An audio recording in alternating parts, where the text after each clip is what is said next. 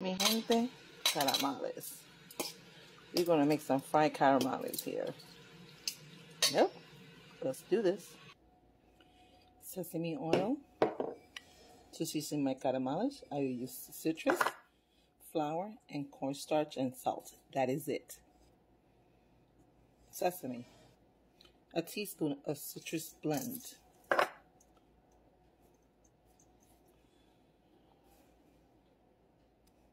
Two tablespoons of cornstarch and your cup of flour. And this is how it should look like. And now let's fry. So this is my fried calamari.